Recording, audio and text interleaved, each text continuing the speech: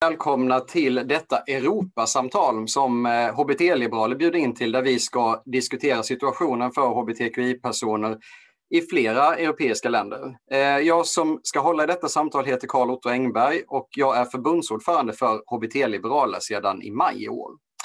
Men nu skulle jag vilja börja med att presentera de verkliga huvudpersonerna för detta samtal. Vi har med oss en person som är en mycket stor förebild för flera generationer av hbtqi-personer. Eh, kvinnan som friskförklarade oss. Välkommen in i samtalet Liberalernas riksdagsledamot Barbro Westerholm. Tack. Och för att öka spetsen ytterligare på detta samtal så har vi med oss en person som arbetar frenetiskt för att hela Europa ska stå upp för hbtqi-rättigheter och som vill göra Europa till en frihetszon. Liberalernas Europaparlamentariker Karin Karlsbro, välkommen du också. Tack så mycket. Och den här sommaren så har ju verkligen hbtqi-rättigheter hamnat i fokus ur ett europeiskt perspektiv inte minst. Det har varit bråk om fotbollsarenor, om de ska få lysas upp i regnbågsfärg. Jag tänker på Allians Arena.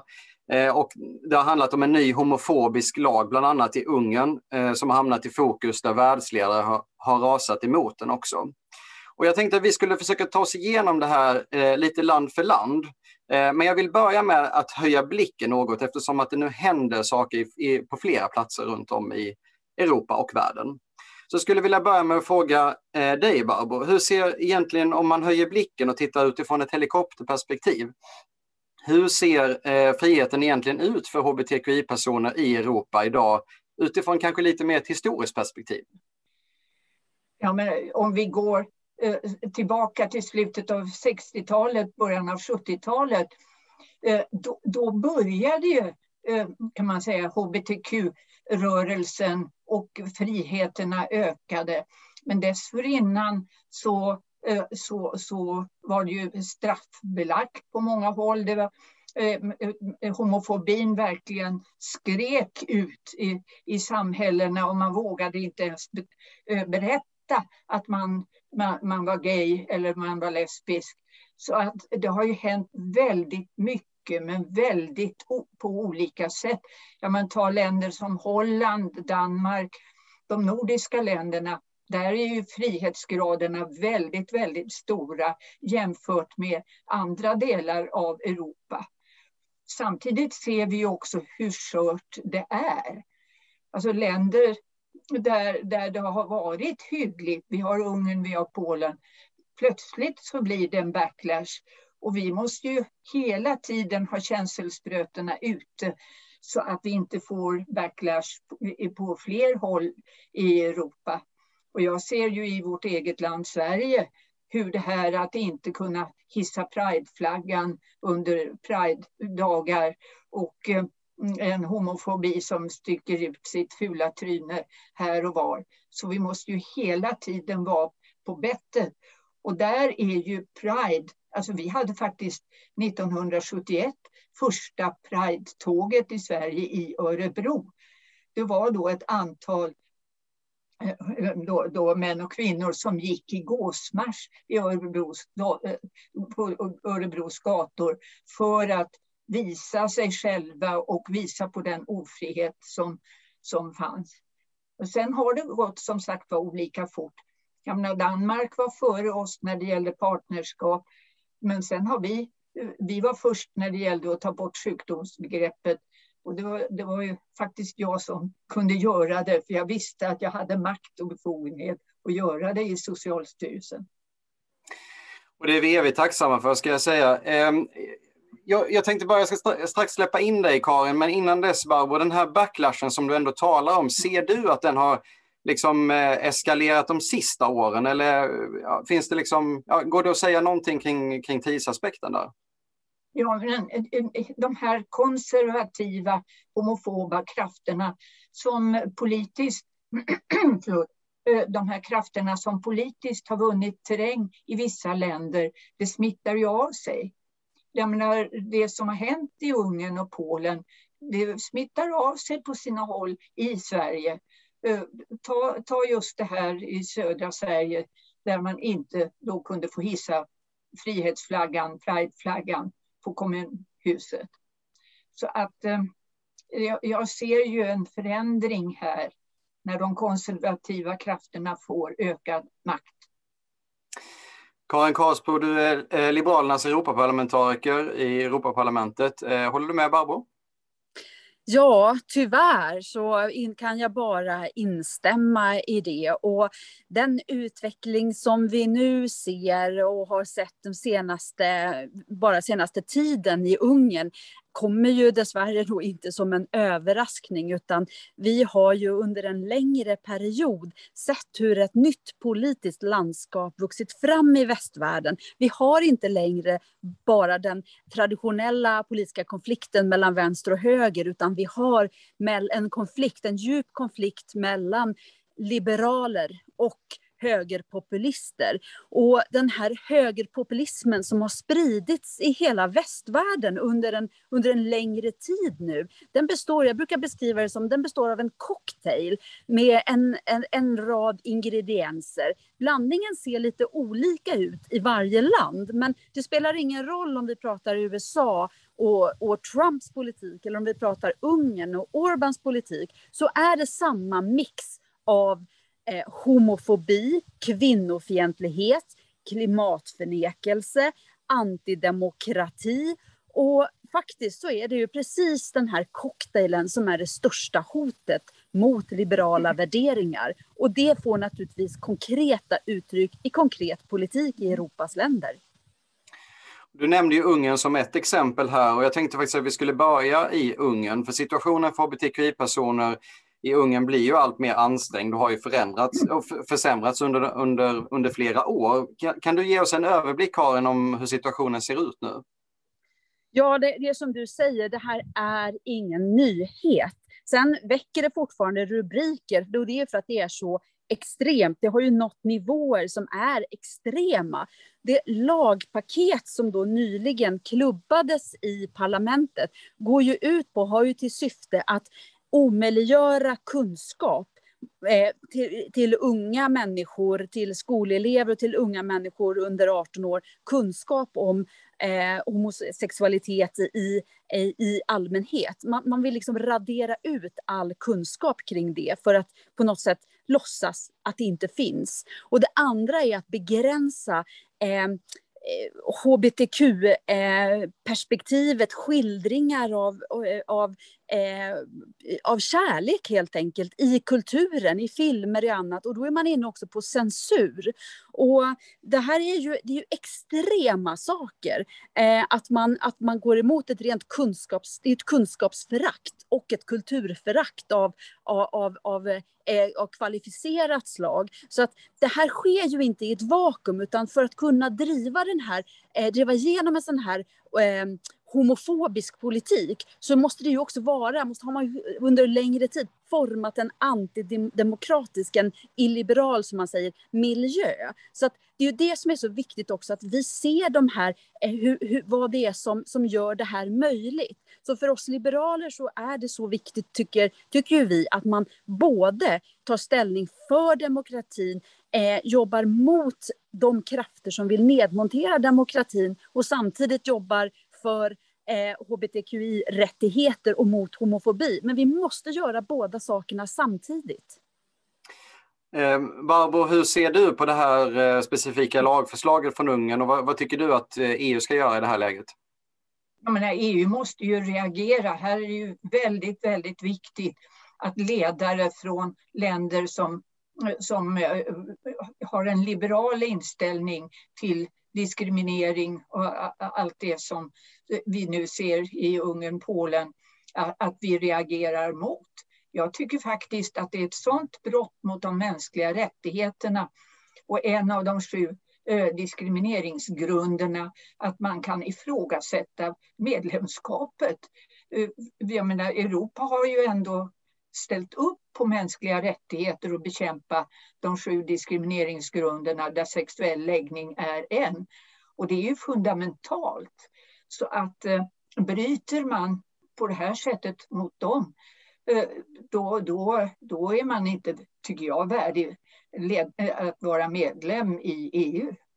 Och en del eh, länder och regeringschefer har ju varit, varit inne på det här spåret med just tuffare tag mot, mot Ungern, och Ungern och att de annars eh, ska lämna EU. Eh, Karin, vad säger du? Vad tycker du och vad har du mer specifikt gjort? Är det rätt att hota med att, eh, med att Ungern får lämna EU annars?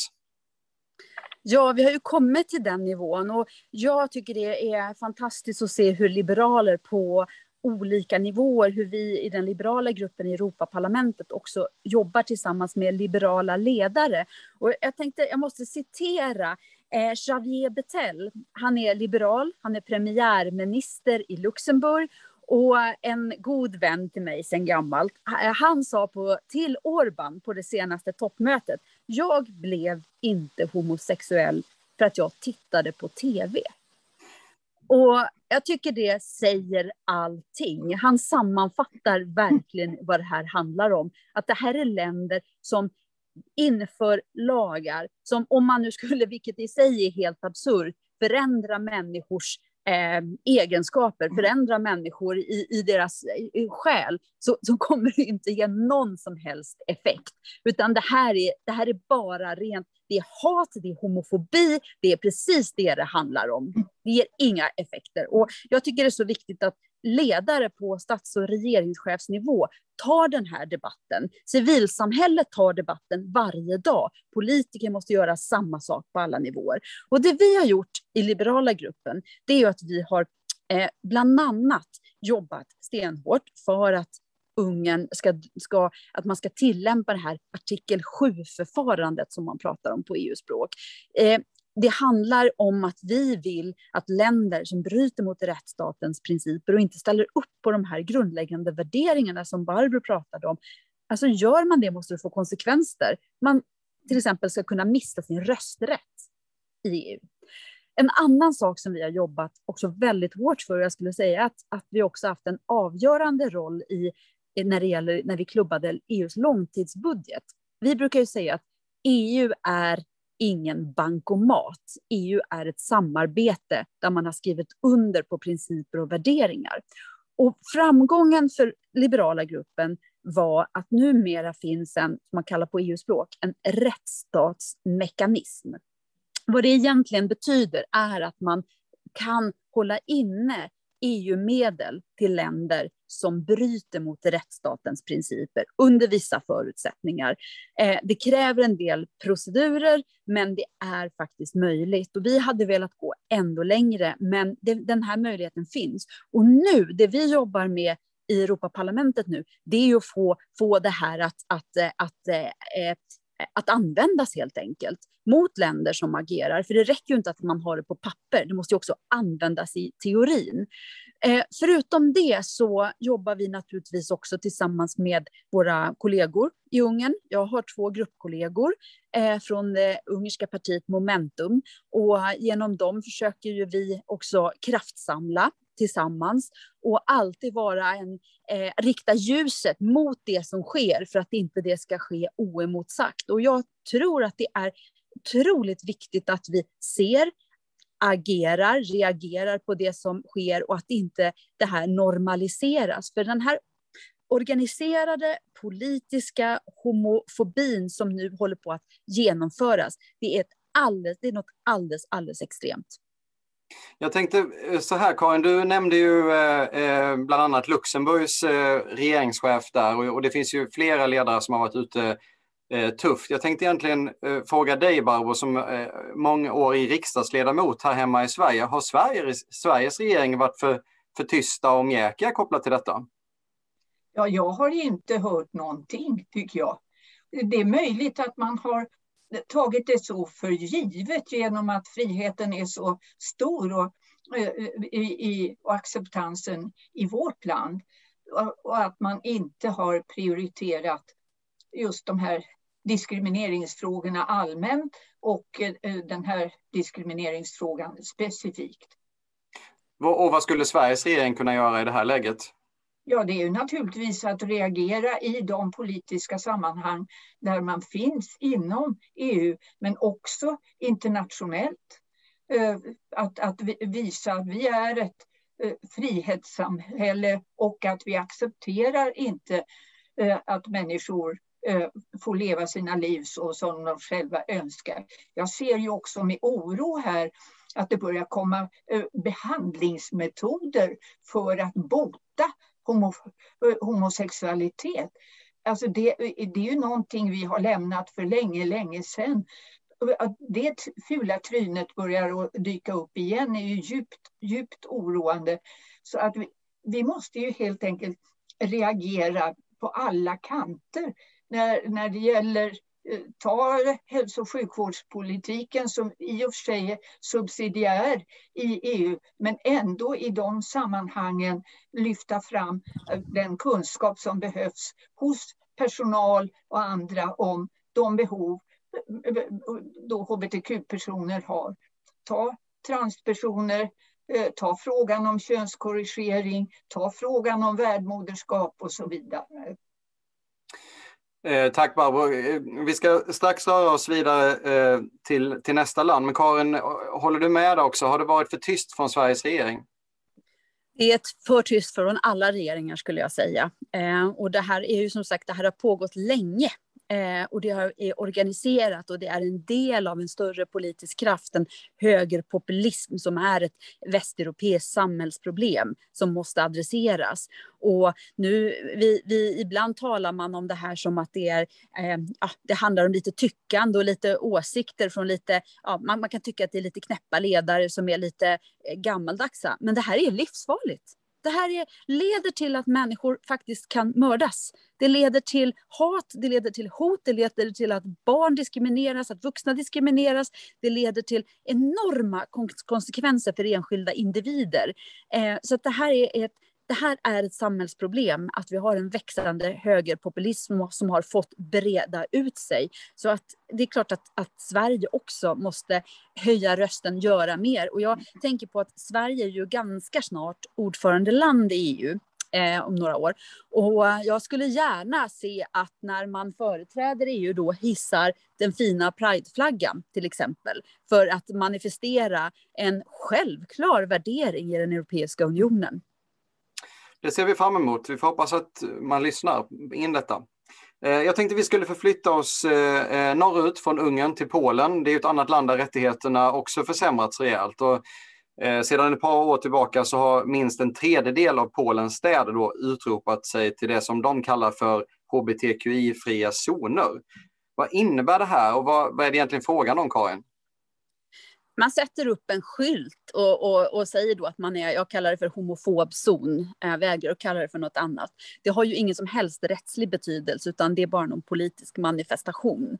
Eh, och då kan man tycka att ja, det där kan man rycka åt axlarna åt för det är bara dumt. Men det är ju inte bara det. Det här legitimerar ju någonting som är väldigt, väldigt farligt. När det officiella eh, Polen när beslut, politiska beslutsfattare, när myndigheter går ut och gör så här och låter det få vara. Ja, det är ju en signal till lärare att ignorera hbtqi-perspektiv i skolan, att osynliggöra det totalt. Det är en signal till polis att hatbrott det finns ju inte. Mm. Det kan inte existera. Det är en signal till rättsväsendet att inte eh, döma utifrån eh, de brott som utreda och döma de brott som kan, kan då vara relaterade till, till hatbrott och diskriminering. Det är en signal till sociala myndigheter, till barn som växer upp i regnbågsfamiljer som handlar till slut om, om vårdnadsfrågor, om arvsfrågor och andra frågor. Så jag skulle säga att den här, den här signalen man sänder ut med de här Eh, otroligt, eh, det är fånigt, man, skulle kunna, man önskar man kunde avfärda det på det sättet. Men med de här manifestationen eh, får riktiga och verkliga konsekvenser för enskilda individer och också för barn. Och minskar människors frihet, möjligheter att leva sina liv som vilken vanlig människa som helst, jobba eh, hämta på förskolan, gå i skolan, gå på universitetet. Det är inte mer än så. Det får enorma konsekvenser för sitt sätt att leva och många som vi har kontakt med vittnar ju om att de måste leva sitt liv i det, i det dolda därför att blickarna eh, diskrimineringen, det som kan finnas på den här alldeles lokala nivån, den, är, den kommer ända in på skinnet och legitimeras av det här. Så det här är fruktansvärt. EU måste ta avstånd från det, Sverige måste ta avstånd från det och alla har vi ett ansvar för att faktiskt kalla det vid dess rätta namn. Det är homofobzoner. Vad säger du Barbro om de här homofobzonerna? Ja, vi måste ju medverka här till att stödja dem som arbetar för eh, Eh, frihet i länder som Polen. Eh, jag har ju faktiskt varit i Polen och föreläst för deras parlament om partnerskapet och hur vi kom fram dit och träffat då olika organisationer där som då var på framväxt. Och eh, jag kan ju höra nu vilken miljö de lever i med hat och hot och övergrepp och så vidare. Och då måste ju vi försöka hjälpa de organisationerna också och på, på olika sätt och få ut i samhället det här det här är inget konstigt. Det är vanliga människor som älskar en del någon av motsatt kön, eh, eh andra av samma kön. Men kärleken är densamma. Och, och, och de här berättelserna, få ut dem. För jag upplevde ju när jag höll på Eh, med partnerskapsfrågan i Sverige att det var ju mycket okunskap och rädsla. Man, man, vågade inte ta upp frågan för att då fick man en stämpel i pannan. Och det, det, så att stötta och om det finns förebilder, det betydde mycket i Sverige att kända personer eh, gick ut och sa jo men jag lever med, med, med en annan man eller jag lever ihop med en annan kvinna och vi gör det och det och det och vi jobbar med det och det och det. Och det var väldigt vardagligt. Och hur då eh, rädslor försvann och, och, och attityder. Så att eh, man måste arbeta nere på, på golvet också, så att säga, på marken, för att få ut den här kunskapen. Karin, eh, Barbro nämner både ja, civilsamhället, hbtq-communityt och förebilder. Hur viktigt är de här delarna? Jag tror att det är otroligt viktigt. Och när jag försöker lyssna på människor med homofobiska uppfattningar, vilket faktiskt jag, mö jag möter ju det i eh, olika sammanhang i, i, med, i och kring Europaparlamentet. Så det är svårt att förstå, det är svårt att begripa vad de drivs av. Men det, jag, får, jag får en känsla av att det finns någon slags rädsla som är eh, bottnat i oklart vad. Men, men, och det är därför det är så viktigt att, att manifestera, att göra det här naturligt, eh, göra den här frågan avdramatiserad och att den är ja, göra den egentligen till en icke-fråga. Och då menar jag också att alla, alla medborgare har, alla vi som står bakom eh, principerna om demokrati, om frihet och mänskliga rättigheter oavsett vilka vi själva är, har faktiskt ett, ett, ett delansvar i det här.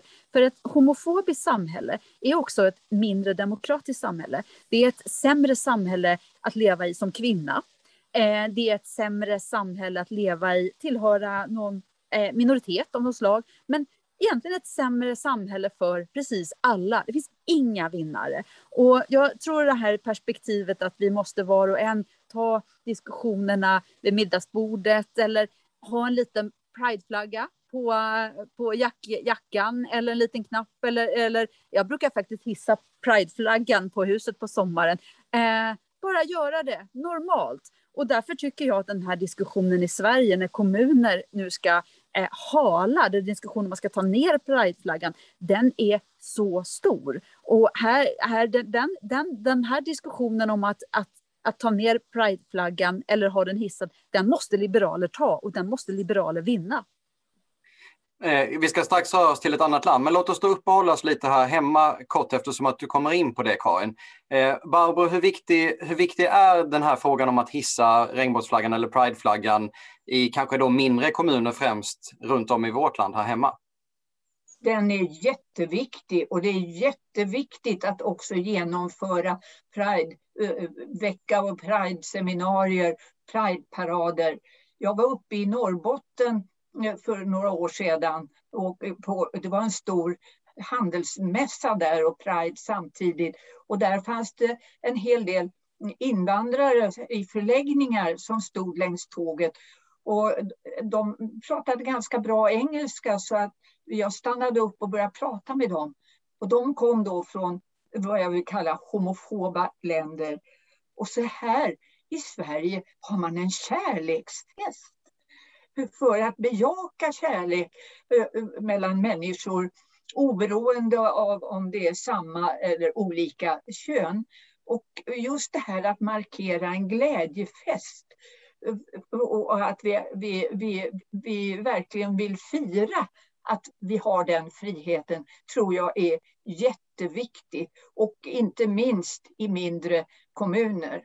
Jag menar, det, det, det är fantastiskt i Stockholm.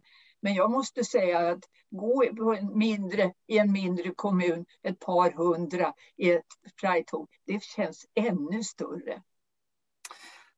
Ja, härligt perspektiv och viktigt eh, du skickar med oss där. Eh, jag tänkte att vi skulle gå vidare till ett annat land som vi i början på juli eh, fick ytterligare lite anledning att hålla ögonen på. Det är Tjeckien, där den tjeckiske presidenten kring månadsskiftet juni-juli kallade för transpersoner för motbjudande i en intervju med CNN. Eh, hur ser situationen ut i Tjeckien, Karin? Ja, man kan väl bara konstatera att det var väl presidentens uttalande som var motbjudande, om det var någonting som var motbjudande. Han tyckte alltså det som sker i Ungern var, var positivt och, och bra, det refererar till det. Och det, det är motbjudande.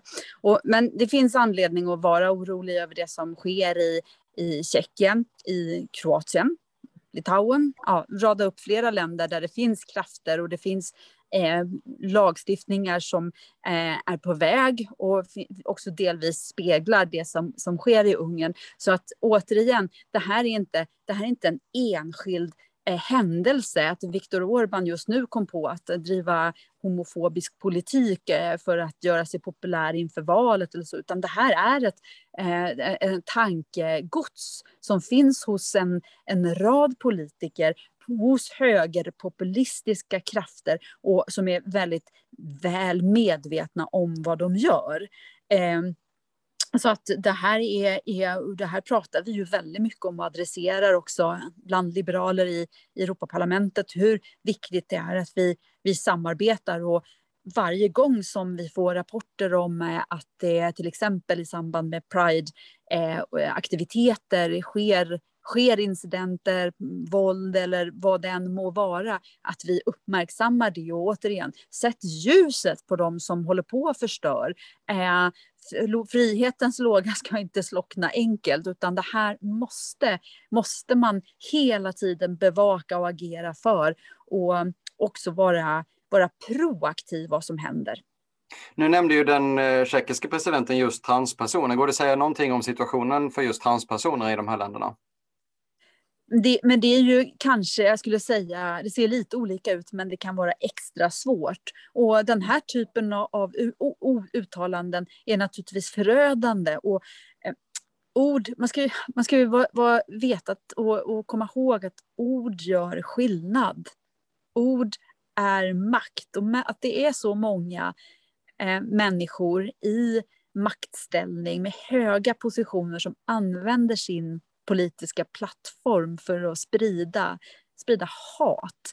Det är väldigt, väldigt oroväckande i Europa 2021. Så att ehm, ehm, eh, man, kan, man kan ju se varje uttalande isolerat och enskilt, men det är väldigt farligt att göra. Måste, så, måste få sägas emot.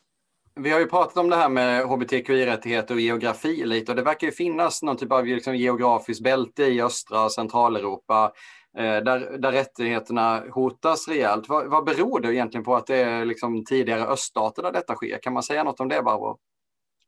Jag kan för lite faktiskt om eh, bakgrunden till det och hur det kan ligga i kulturen. Eller så. Det, vi ser ju inom andra diskrimineringsområden så att säga att eh, eh, fördomarna ligger olika djupt. Om du tar ålder så ligger den väldigt djupt i det svenska samhället jämfört med många andra länder. Och, eh, men jag har inte motsvarande kunskap om hur det ser ut i Östeuropa. För delvis handlar det ju naturligtvis om religion. Men den katolska kyrkan har ju varit väldigt fientligt inställd, även om det inom kyrkan, om vi tittar på på, på kloster, kultur och så vidare så, så, så finns det när man skrapar på, på ytan. Men det har ju inte varit eh, godkänt officiellt så att säga. Så att Karin, du kanske kan mer om, om de här länderna. Nej, jag, jag törs inte heller säga att det är på det ena eller det andra sättet, utan det, vi ser ju det som sker och, och vi kan göra en, en, liksom en karta och se de länder där beslut har fattats och vi kan identifiera politiker som gör uttalanden och så. Men jag tror att vi gör ett stort misstag om vi säger att det här är ett östeuropeiskt problem. Eh, för det är, det är inte så enkelt. Men, eh, och jag tror också vi ska se varje land eh, lite för sig. Viktor Orban eh, är ju en, en ledare som eh, eh, hela hans agerande nu är logiskt. Han har jobbat för en illiberal en, en, en, en, den här typen av auktoritärt samhälle under många, många år. Och vi har sett hur eh, han har ju blivit e-, Europas egen Trump kan man säga, så därför är det viktigt att, att, att, och hålla koll på, på just Ungern och, och Orban för att det är många som sneglar och följer, följer honom. Och då kan man ju se först hur Ungern har agerat när det gäller migration och retoriken kring invandring. Och sen så i nästa steg, när, när, när, när i princip eh, gränserna är stängda, så har man, tycker jag, man ser att man, hur man skruvat upp homofobin. Det är nästa steg.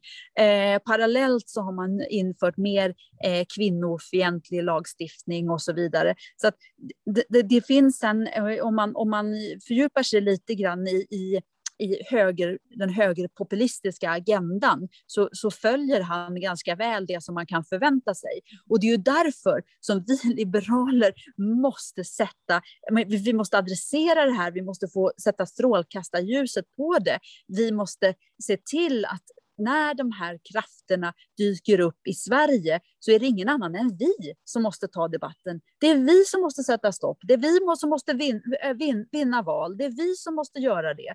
Eh, vi står här och oroar oss över Ungern. Jag tycker vi ska vara mer oroade över vad som sker på hemmaplan. Det är inte mer, förlåt. Vi är oroade, men vi ska, vi ska liksom ta med oss den oron och göra vår hemläxa. Det är så jag tänker. Därför att det, det, att göra det till ett östeuropeiskt problem, det är för enkelt. Vi är inte vaccinerade. Jag tänkte att vi ska strax avrunda det här samtalet, men eh, något som också har hänt under sommaren är ju att det skedde en eh, våldsam attack i Georgien mot Pride och mot journalister i, i Tbilisi eh, i samband med Pride-marschen där. Eh, Karin, vill du säga någonting om det? Ja, det var ju ytterligare ett, ett fruktansvärt exempel på att man eh, vill göra en kärleksmanifestation eh, som, som Pride handlar om. Så, så enkelt. Och den attackerades hårt eh, av, av, av, enskilda individer som var som otroligt aggressiva och, och polisen eh, ingrep inte. Och det här har vi också sett tidigare och, och nu var det ytterligare ett exempel. Och jag hoppas nästa år eh, att själv kunna åka till, eh, till, till den här, eh, det här eventet. För att här kan vi ju som, som EU-politiker så har man ju en möjlighet att vara på plats för att ge sitt stöd och eh, se med egna ögon men kanske också ha en inverkan att man Eh, det här eh, omvärlden håller ögonen på vad som händer. Och, och det, det är väldigt viktigt och vi jobbar också tillsammans i liberala gruppen för att eh, stötta eh, krafter lokalt men också se till att det så snart pandemisituationen medger att, att det finns internationella liberala representanter på plats. Och det tror, tror jag är det viktiga som, som vi kan göra i det sammanhanget. Och det säger ju då Karin Karsbro som är Liberalernas Europaparlamentariker eh, i Europaparlamentet. Eh, avslutningsvis Barbro Westerholm, riksdagsledamot för Liberalerna. Eh, vi har ju pratat en hel del nu om vad man kan göra när den här typen av försämringar redan har skett och hur man ska agera då. Men jag tänkte vi skulle avsluta lite hoppfullt. Eh, för desto viktigare, hur kan vi liksom proaktivt arbeta för att inte hamna i de här situationerna, både i EU och här hemma? Jo, men det är ju att tydliggöra på alla nivåer. Från alltså barn ända till den allra, allra mest årsrika generationen. Att vi ska bejaka kärlek. Bejaka kärlek oberoende eh, vilket sex man tillhör. Eh, jag tror att var och en har ett ansvar här och vi har som liberaler ett ansvar för att eh, jag menar, i förskolan, Eh, i våra förskolor så finns det ju åtskilliga barn som har eh, då eh, föräldrar, två mammor eller två pappor och så vidare och att det är någonting helt normalt. Och sedan fortsätta i skola, universiteten viktiga, de som gör militärtjänst, det är viktigt alltså på alla nivåer. Och att vi hör vi homofoba yttranden till exempel, hugga på en gång, inte med ilska tror jag utan mera, mera sansat. För mycket av den här diskrimineringen vi ser i, inom de olika grunderna är omedveten. Människor vet inte om hur de beter sig. Och eh, kan man ta upp det här på ett trevligt sätt? Ja, men varför säger du så? Men vad tokigt det blir. Och så skrattar man lite och då biter det istället för att säga du, du, du, du, du är en ond person ungefär. Så att eh, ja, vi har alla ett ansvar både att agera, reagera. Otroligt eh, kloka ord som vi bär med oss tycker jag. Jag hoppas eh, innerligt att vi får möjligheten att eh, fira ett eh, ja, i princip helt normalt Pride-firande nästa år, 2022, som ju också är ett valår. Eh, och eh, jag vill med det säga stort tack till er båda två som har varit med i det här förinspelade samtalet eh, inför Pride. Och jag vill också avsluta med att tacka till alla er som tittar på det här och säga Happy Pride. Vi finns tillgängliga. Det är bara att höra av sig. Man kan hitta kontaktuppgifter via HBT Liberalers eller Liberalernas hemsida. Stort tack!